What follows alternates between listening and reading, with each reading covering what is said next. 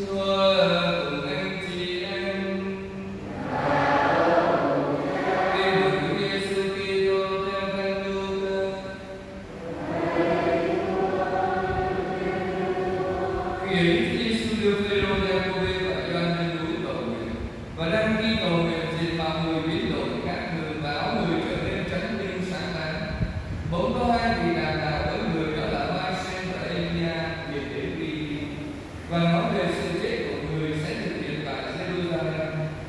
Phêrô và hai bà ông đang ngủ mê chợt tỉnh dậy, thấy vinh quang của Chúa và hai vị đang đứng với người. Lúc hai vị từ biệt Chúa, Phêrô tư cùng Chúa Giêsu rằng: Lời thầy, chúng tôi được ở đây vì tốt lắm, chúng con xin làm ba điều, một cho thầy, một cho mai sen và một cho Elia. Khi nói thế, Phêrô không rõ mình nói gì. Lúc ông còn đang nói thì có một đám mây bao phủ các ngài và thấy các ngài đi vào. Các môn đệ đều kinh hoàng. Bây giờ từ đám mây có tiếng phán rằng đây là con đang yêu dấu các ngươi hãy nghe lời người. Và khi tiếng đang phán ra thì chỉ thấy toàn mình Chúa Giêsu. Suốt thời gian đó, các môn đệ tự kín, không nói với ai, những điều mình đã chứng kiến. Đó là lời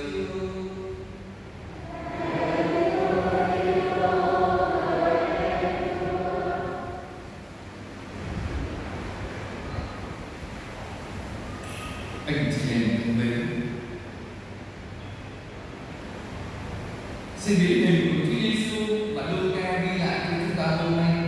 có liên hệ mật thiết với cuộc hư khó và phục sinh của Ngài. Chúng ta nên về hôm nay, thấy điển hình với vẻ đẹp tuyệt trần của thầy mình, áo trắng như tuyết, mặt sáng ngời như gương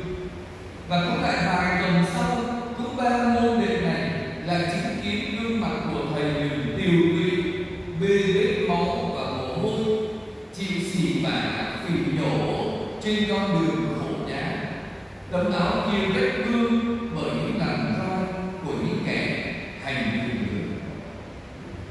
Vậy đâu là sứ điệp mà Chúa Giêsu muốn gửi cho các môn đệ và chúng ta ngày hôm nay?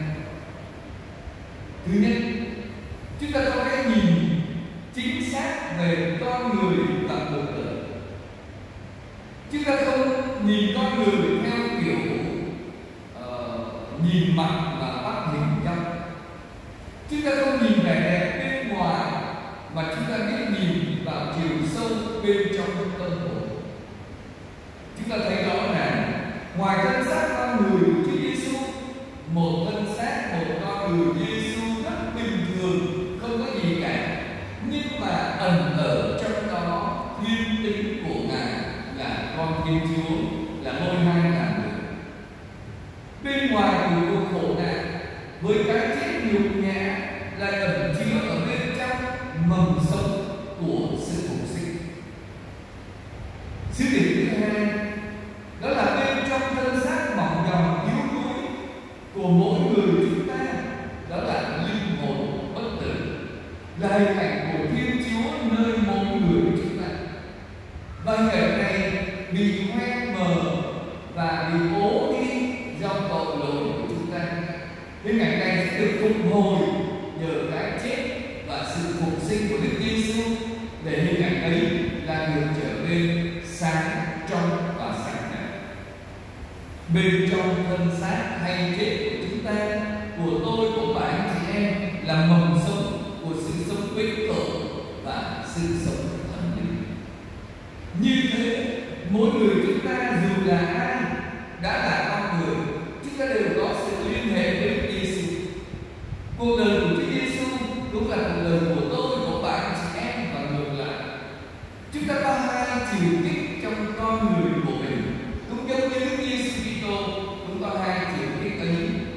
con người của Adam, trong con người của tôi của bạn chị em, đầy những yếu đuối tội lỗi mỏng nhỏ. Và trong đó cũng có hình ảnh của Thiên Chúa. Đấng đã tạo dựng nên chúng ta để chúng ta có sự thánh thiện rạng ngời và bất tử. Chúng ta cũng sẽ phải được biến đổi như Đức Kitô để từ con người Adam yếu đuối do tội lỗi để lại và hậu quả của Adam chúng ta sẽ trở thành con người của Giêsu trong sự thánh thiện và rạng ngời như thế con đường biến là các khổ của tủi nhục của sự chết,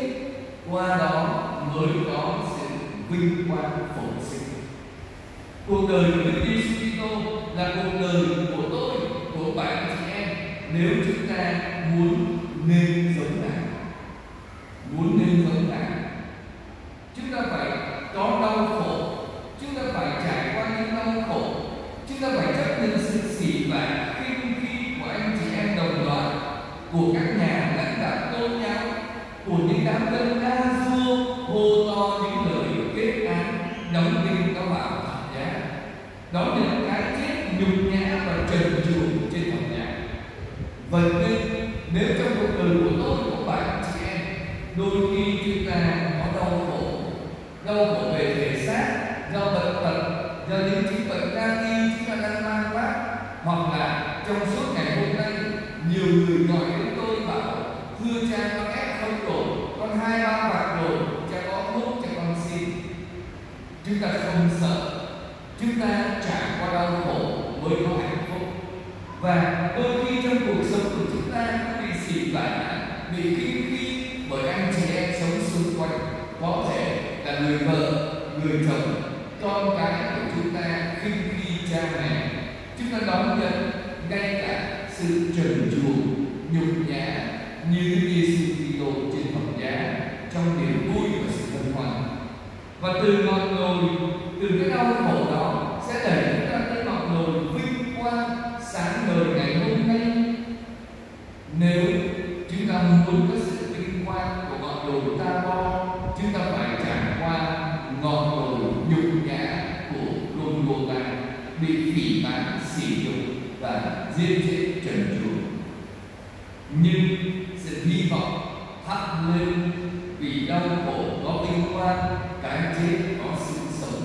Niềm vinh quang phục sinh ấy giúp mỗi người chúng ta can đảm chấp nhận những thương đau, những tổn nhục của cuộc sống hàng ngày và cả cái chết nữa. Và qua tất cả, những kiếp người chúng ta trải qua, chúng ta sẽ được phục sinh với Đức Giêsu Kitô. Xin thầy ngày của Đức Giêsu Kitô ngày hôm nay, biến hình trên núi cho chúng ta niềm hy vọng. Để từ đó, trong cuộc đời của tôi của chị em, chúng ta có đau khổ, chúng ta có vất vả chúng ta có nhọc nhằn hay những bệnh tật, chúng ta có bị tổn thương về tinh thần hay thể xác, chúng ta hãy vững tin, hân hoan và vui vẻ vì phía sau đó là ngọn đồi Rabon với thân xác của chúng ta được sáng tạo như Đức Giêsu Kitô hôm nay. Tôi tin kinh